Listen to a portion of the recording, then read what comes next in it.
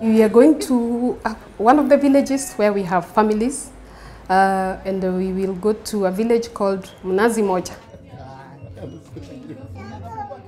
I work as a family strengthening coordinator. That's my key role right now. I am in charge of the family strengthening program here in Mombasa. The normal one ni venye leo tuko. We, we are going to visit uh, some two families. It will be like a normal visit that we do when we are checking on the progress of the family. So we, we will interact with the caregiver. We found out how the family is since the last time uh, a co-worker visited or the last time they came to the office. They will tell us what is happening in their family. Are the children okay? Are they going to, to school? Are they healthy? If the caregiver is in business, how is the business?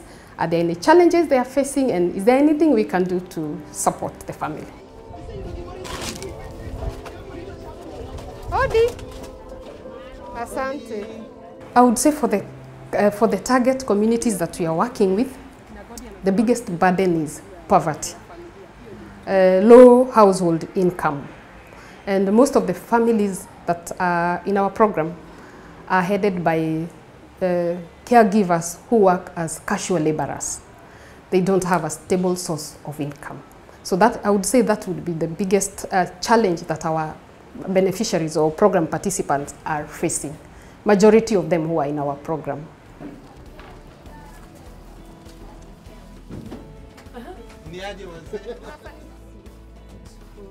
What we do here is that uh, we upskill youths based on digital literacy skills because we know that uh, these are skills that are required in contemporary society.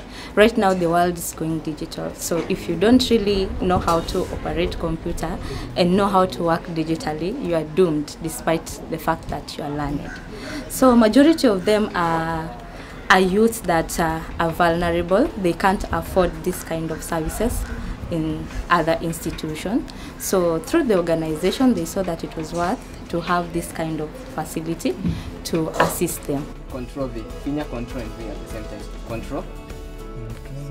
It's very satisfying and uh, I am happy to see the work that SOS is actually doing in the community. We are impacting lives. I am happy, I am satisfied.